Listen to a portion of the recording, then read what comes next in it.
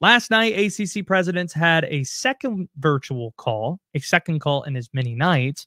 And the word that's been used in many places today roadblocks were hit. Roadblocks in their discussions about whether to add Cal and Stanford or maybe even SMU too. Now, having roadblocks doesn't mean expansion is dead, but it is, or at least it seems, like it's becoming less likely that the ACC is going to add in this cycle. The one school that's been public and vocal about their support for expansion is Notre Dame. And that is the perfect encapsulation of the Irish's relationship with the Atlantic Coast Conference. Notre Dame is not a football member. They are not a full member of the league. Yet they still get a full vote. in whether the league expands, they get one of 15 votes. Notre Dame is in favor of adding ACC membership, just as long as it's not them. We're cool with you adding schools, but don't expect us to add. No, sirree.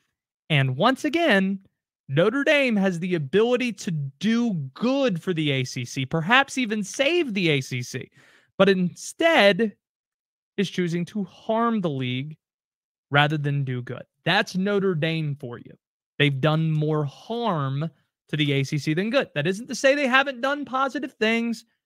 Sure, you have the branding of having them part of your conference and playing a select number of football games against them each year. There are some positives that you look at, but the cons outweigh the pros when you look at the large sample that we now have of this part time marriage, this part membership, Notre Dame in the league. There's no doubt that the ACC has given more in this partnership than they've received. The ACC has given them a home for all their non football sports. As the Big East was falling apart, the ACC gave those sports refuge. And that's an upgrade over what the Big East gave Notre Dame. Let's not forget this past athletic year, the ACC had more national championships than any other conference. It just wasn't in the sports that you really care about. It's not in the revenue generating sports. So for non football programs, it was a step up for Notre Dame. The ACC was there for them. They give them a television share. Now, it's not a full share because they're not a football member, but a television share nonetheless. They get a full vote on issues like expansion. They're treated like a full time member in that sense. And of course, during COVID in 2020, the ACC rescued Notre Dame when it was needed. Notre Dame needed the ACC. And in that time, the ACC was needed. The ACC came through. They didn't try to strong arm Notre Dame the way that they probably should have into joining the league, where everybody was only playing conference games at that point. Not a great time to be an independent member like Notre Dame is, an independent school. Instead, for one year, they allowed Notre Dame to join the league, and Notre Dame had its best season in over a decade probably its best season in over 15 years. They went to the college football playoff. They went to an ACC championship game. Notre Dame had a heck of a year. And the ACC allowed for that to happen by being nimble, being flexible, not being rigid when Notre Dame needed them most. The reason why, in hindsight, they should have tried the strong arm is because it's pretty clear now the ACC can't get Notre Dame to love them. Notre Dame's never going to love them. Notre Dame's never going to return that favor for the ACC. They're never going to join because right now they could rescue the ACC. After the Big Ten expansion and what the Big 12 is doing currently and what the SEC is adding in Texas and Oklahoma, Notre Dame has the ability. They are the golden ticket in the ACC being included with that top tier in college sports, but they're not going to do it. Independence matters more to them than helping the ACC, than helping somebody that's helped them. Now that the shoe's on the other foot. Rather, Notre Dame is now advocating for something harmful. They're advocating for expansion to the Bay Area in California to add Stanford in Cal. They're the one school that's putting their name on it. None of the other schools that are advocating for it, albeit we can guess who they are, are publicly putting their name on it the way that Notre Dame has.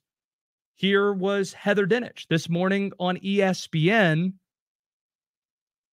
explaining the logic of Notre Dame AD Jack Swarbrick. I was texting back and forth this morning with Notre Dame athletic director Jack Swarbrick because it was reported and sources confirmed that Notre Dame is pushing for Cal and Stanford. And I want to read to you the text message he sent that I can use on the record. He said, The notion that two of the very best academic institutions in the world who also play D1 sports would be could be abandoned in this latest chapter of realignment is an indictment on college athletics hmm, if only there was a way that Notre Dame could help those schools rather than just being one of 15 votes. If it really matters to you so much that these schools not get left in the dark, hmm, if only something you could do, Jack Swarbrick, because we all know in a heartbeat, it would be a 15 out of 15 approval if Notre Dame said, if you take on Cal and Stanford,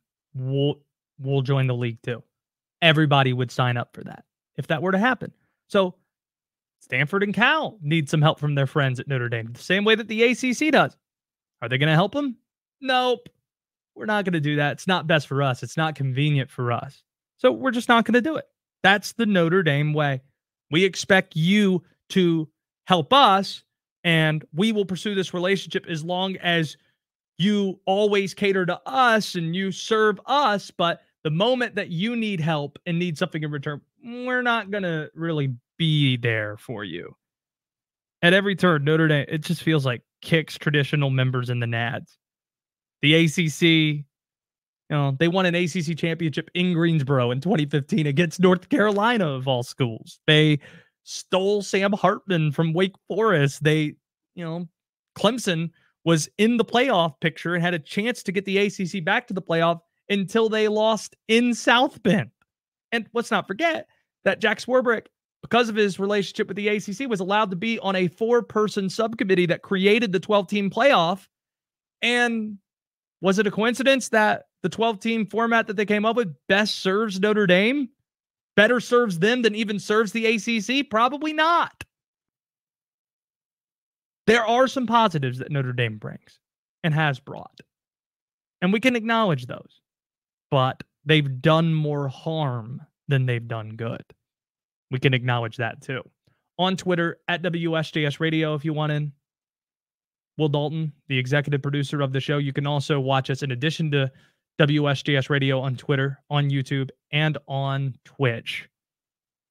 WD, what movie reference would be more apt in this moment? Notre Dame. Would it be other ACC members acting like Damian and Mean Girls yelling at the back of the gymnasium? She doesn't even go here. The fact they're not a full member, or is it Peter Parker letting the criminal go that went to kill Uncle Ben? And when the person asked, why didn't you do something? He said, I, I seem to miss the part that's my problem. Where that's my problem, the way that the ACC should respond to Jack Swarbrick's suggestion of somebody needs to help for the good of the sport, Stanford and Cal. We're always going to prefer a good Tobey Maguire Spider-Man reference, so we're going with that.